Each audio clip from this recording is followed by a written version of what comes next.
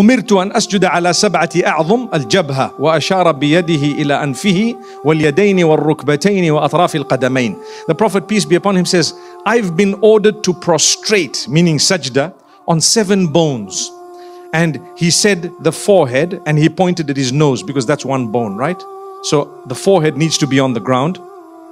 الجبهة وأشار بيده إلى أنفه and he pointed with his hand to his nose واليدين والقدمين وأطراف القدمين الركبتين وأطراف القدمين the two hands that makes it three the, the knees that makes it five and the the tips of your toes that makes it seven so the tips of the toes the knees the two hands and the forehead with the nose that's seven so we prostrate for Allah subhanahu wa ta'ala we go down in prostration for Allah subhanahu wa ta'ala. We seek the forgiveness of Allah and we know for a fact we've been forgiven.